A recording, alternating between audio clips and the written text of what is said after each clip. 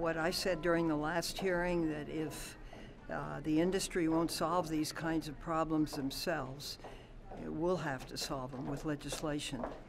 And I don't think that's the most desirable course of action. But you can't have 50 million uh, people lose the privacy of their data this way.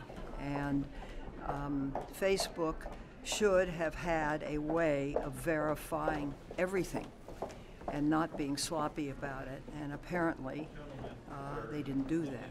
So we'll have to find out why.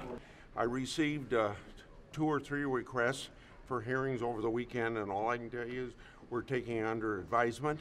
It's very serious with what uh, Facebook has done, and it violates privacy. We ought to be looking into it, but I can't promise a hearing at this point.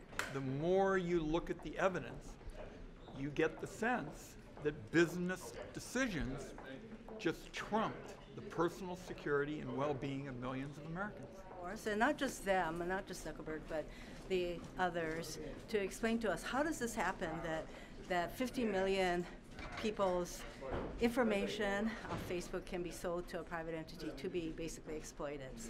I think as part of the Russian active measures investigation, we've seen the power of social media and the data mining that's used uh, by the platforms, large social media platforms, how it can be used and abused.